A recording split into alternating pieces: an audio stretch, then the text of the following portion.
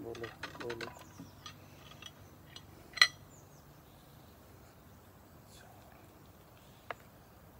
Hello ਜੀ, ਸਤਿ ਸ਼੍ਰੀ ਅਕਾਲ ਦੋਸਤੋ।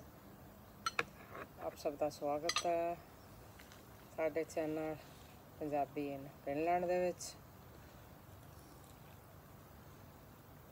ਤੇ ਲੰਚ ਟਾਈਮ ਹੋਇਆ ਹੈ। ਤੇ ਹੁਣ ਅਸੀਂ ਖਾਣ ਲੱਗੇ ਹਾਂ। ਕੜੀ ਐਂਡ ਚੌਲ ਇਦਾਂ ਹੀ ਆ। ਕੜੀ ਤੇ ਚੌਲ। ਕੜੀ ਇਹਦਾ ਕੜੀ ਨਾ ਕਿਉਂ ਪਿਆ? ਨਹੀਂ ਹੈ ਕੁਝ ਚਾਂਸ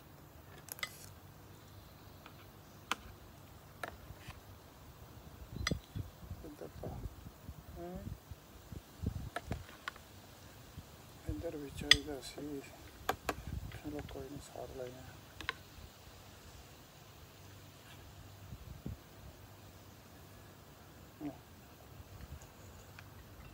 ਉਹ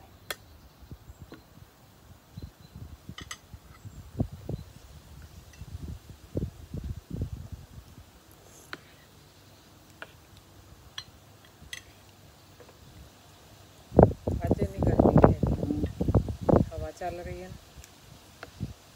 ਕੱਲ ਹਵਾ ਨਹੀਂ ਸੀ ਚੱਲ ਰਹੀ ਕੱਲ ਗਰਮੀ ਬਹੁਤ ਸੀ ਦੋਸਤੋ ਕੜੀ ਤੇ ਚੌਲ ਬੜੇ ਸਵਾਦ ਨੇ ਕਿਉਂਕਿ ਇਸ ਵੇਲੇ ਭੁੱਖ ਲੱਗੀ ਹੁੰਦੀ ਹੈ ਤੇ ਮੌਸਮ ਵੀ ਬੜਾ ਪਿਆਰਾ ਤੇ ਹਵਾ ਚੱਲ ਰਹੀ ਹੈ ਮਿੰਨਾ ਮਿੰਨਾ ਮੌਸਮ ਹੈ, ਕਹਿ ਲਓ ਵੀ ਕਦੇ ਬੱਦਲਵਾਈ ਤੇ ਕਦੇ ਹਵਾ ਤੇ ਕਦੇ ਗਰਮੀ। ਨਾਲ ਹੈ ਜੀ ਲਾਲ ਪਿਆਜ਼ਾਂ ਦਾ ਸਲਾਦ, ਵਿਰਕ ਸਾਹਿਬ ਦਾ ਫੇਵਰਟ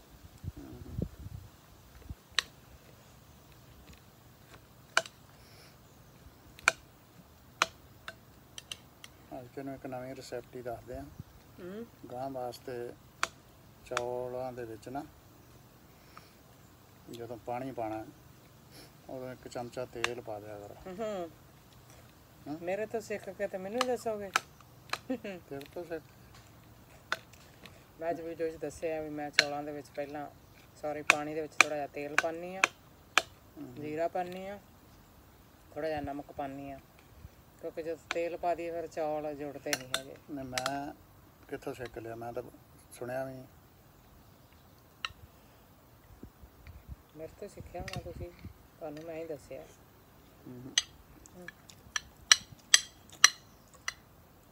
ਮੈਨੂੰ ਪਹਿਲਾਂ ਹੀ ਪਤਾ ਸੀ। ਚੌਲ ਜੁੜਦੇ ਨਹੀਂ ਉਹਦੇ ਨਾਲ।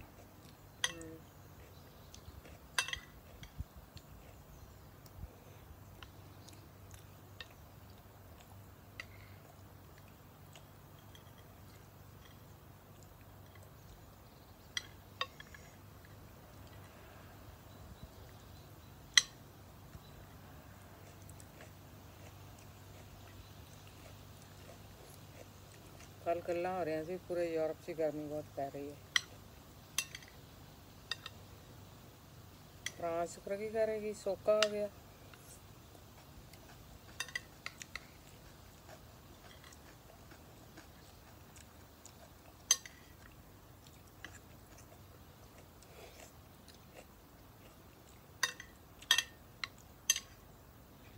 ਬਸ ਹੀ ਆ ਕਿਤੇ। ਸੋਕਾ ਤੇ ਕਿਤੇ ਗਿੱਲਾ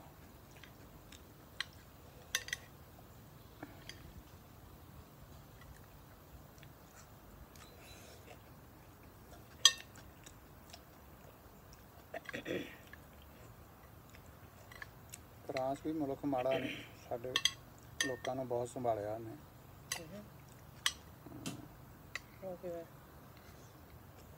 ਵੀ ਬਹੁਤ ਲੋਕ ਨੇ ਉੱਥੇ ਕੰਮ ਕਰਦੇ ਆ। ਹੂੰ।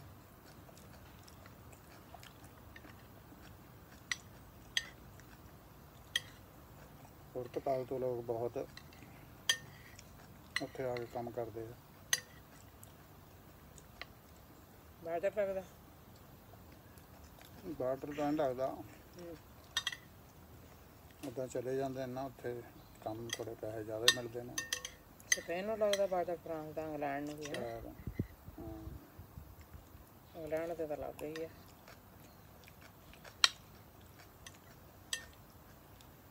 ਸਾਰੇ ਜਿੱਥੇ ਮਰਜ਼ੀ ਚਲੇ ਜਾਓ, ਆਪਣਾ ਪੰਜਾਬੀ ਮਿਲ ਹੀ ਜਾਊ, ਹਨਾ?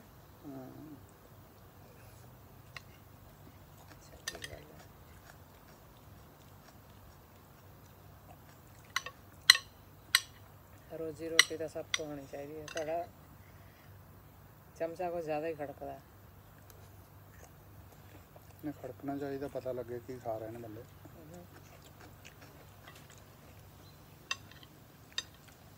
ਉਹ ਨਾ ਜਾਗ ਜਾਣ, ਤੁਹਾਡੇ ਚਮਚਾ ਖੜਕਦਾ। ਸੁਣ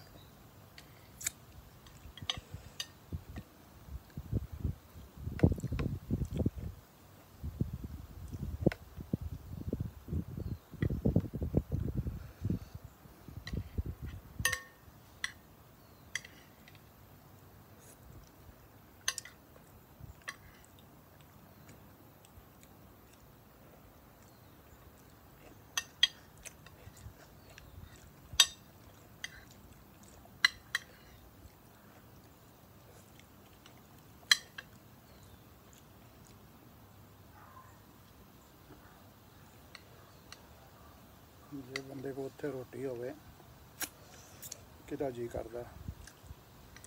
ਫਿਰ ਸ਼ੌਂਕ ਨੂੰ ਵੀ ਲਾਉਂਦੇ ਆ।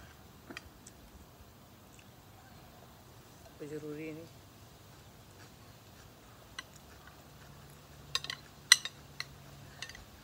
ਸ਼ੌਂਕ ਨੂੰ ਵੀ ਆਉਂਦੇ ਯਾਰ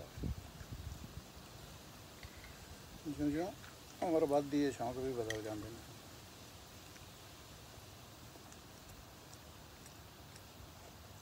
ਮੈਨੂੰ ਵੀ ਬੜਾ ਸ਼ੌਂਕ ਸੀ ਪਹਿਲਾਂ। ਅੱਜ ਮੀਂਹ ਤਾਂ ਨਹੀਂ ਦੱਸਿਆ ਉਹਦੇ ਦਾ ਹੂੰ। ਮੀਂਹ? ਨਾ ਆ ਜਾਏਗਾ ਤਾਂ ਕੋਈ ਗੱਲ ਨਹੀਂ ਇਹ ਨਹੀਂ ਹੋਣਾ ਹੀ ਬੱਦਲ ਹੋ ਰਿਹਾ।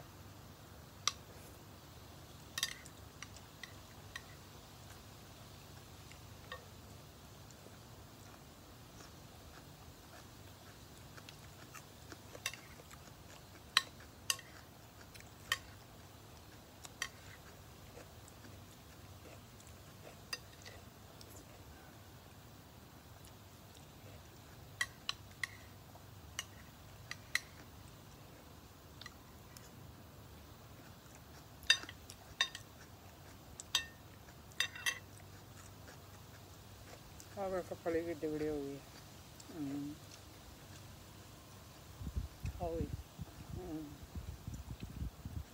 ਹਾਂ। ਪਾ ਲਿਓ ਕਿਸੇ ਸਬਜ਼ੀ ਜੀ। ਇਹ ਤਾਂ ਮੈਂ ਸੋਚ ਰਹੀ ਇੱਕ ਦਿਨ ਹੋ ਜਾਣੇ ਸਾਰੀਆਂ ਮੈਂ। ਤਿੰਨ ਆਲੂ ਬਣਾ ਪਾ ਕੇ ਤੁਹਾਡੇ ਲਈ ਬਣਾਉਂ ਥੋੜੀ ਸਬਜ਼ੀ। ਕਿਸੇ ਦੇ ਵਿੱਚ ਪਾ ਕੇ ਫਿਰ ਉਹ ਸਵਾਦ ਨਹੀਂ ਨਾ ਬਣਨਾ। ਹੂੰ।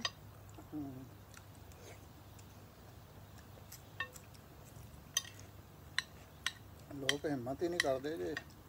ਕਰਨ ਤੇ ਜੋ ਮਰਜ਼ੀ ਸਬਜ਼ੀ ਹੋ ਜਾਂਦੀ ਹੈ।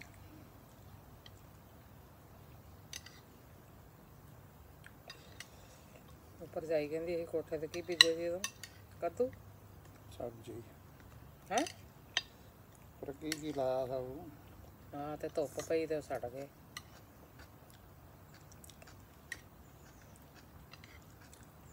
ਉਹੀ ਆ ਜੇ ਤੁਸੀਂ ਸਬਜ਼ੀ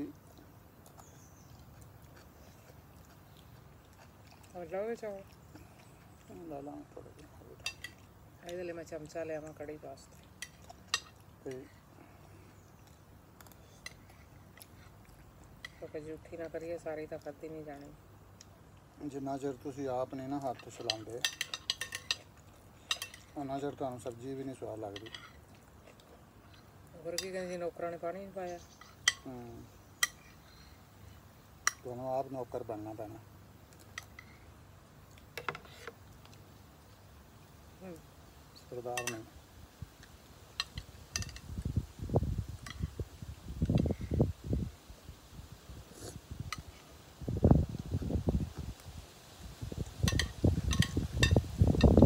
ਗੁਰਦੁਆਰੇ 'ਚ ਵੀ ਖਾਧਾ ਸੀ ਕੜੀ ਚੌਲ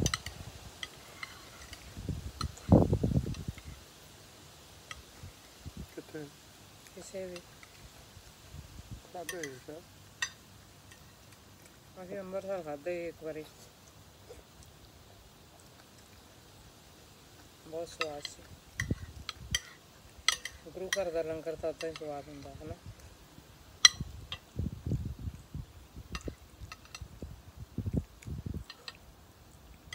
ਰੱਬ ਦਾ ਹੁਕਮ ਹੈ ਉਹ ਤਾਂ ਮਤਲਬ 10% ਦਾ ਵੀ ਜੇ ਤੁਹਾਨੂੰ 100 ਰੁਪਈਆ ਬਚਦਾ ਤੁਸੀਂ 10 ਰੁਪਈਏ ਰੱਬ ਦੇ ਘਰ ਦਿਓ। ਕਿਉਂਕਿ ਉਸ ਉਹਨਾਂ ਜ਼ਮਾਨਿਆਂ ਜਿਹੜੇ ਪਾਠੀ ਪੂਠੀ ਸੀ ਨਾ, ਜਾਂ ਸੇਵਾ ਕਰਦੇ ਸੀ, ਰੱਬ ਦੇ ਘਰ ਦੀ, ਤਾਂ ਉਹ ਕੋਈ ਪੈਸਾ ਨਹੀਂ ਸੀ ਲੈਂਦੇ ਹੈਗੇ, ਜਾਂ ਗੁਰਦੁਆਰੇ ਦੀ ਸੇਵਾ ਕਰਦੇ ਸੀ। ਇਦਾਂ ਹੀ ਮਤਲਬ।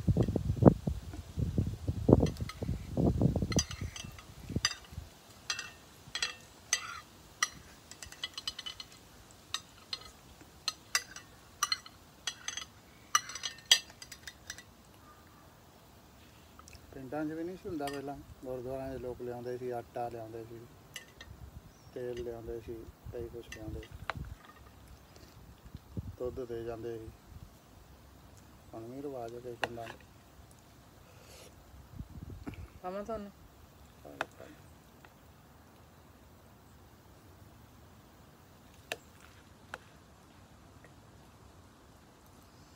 ਇਹ ਕੋ ਇਕੱਠਾ ਕਰਦੇ ਨੇ ਉਹ ਸੇਵਾ। ਕਾਰ ਸੇਵਾ ਵਾਲਾ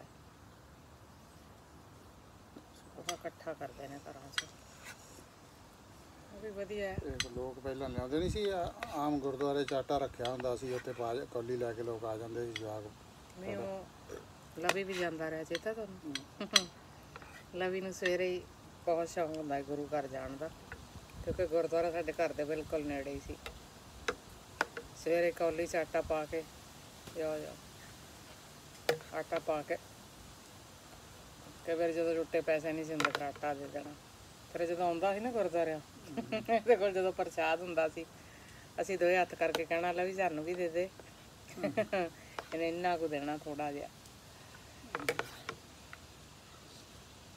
ਪਰ ਉਹ ਇਸ ਕਰਕੇ ਸੀ ਵੀ ਲੋਕਾਂ ਕੋਲ ਪਹਿਲਾਂ ਪੈਸਾ ਟਕਾ ਨਹੀਂ ਸੀ ਇੰਨਾ ਹੁੰਦਾ। ਤੇ ਉਹ ਲੋਕ ਮਤਲਬ ਓਕੇ ਦੋਸਤੋ ਆਪਣਾ ਰੱਖਿਓ ਖਿਆਲ have a nice day god bless you all bye